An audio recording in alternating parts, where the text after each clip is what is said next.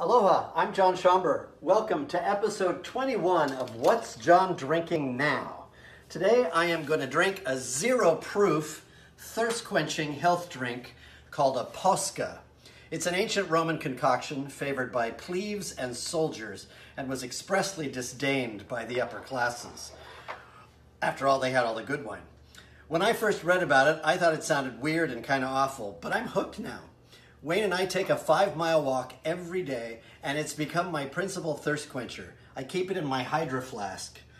It's essentially honey, red wine vinegar, and water. Um, I'm making mine with a coriander honey that I made into a syrup. I'm going to drink this on ice, although I'm pretty sure that the Romans drank theirs room temperature. It inspired them to greatness. Maybe it'll inspire us too. Chin chin.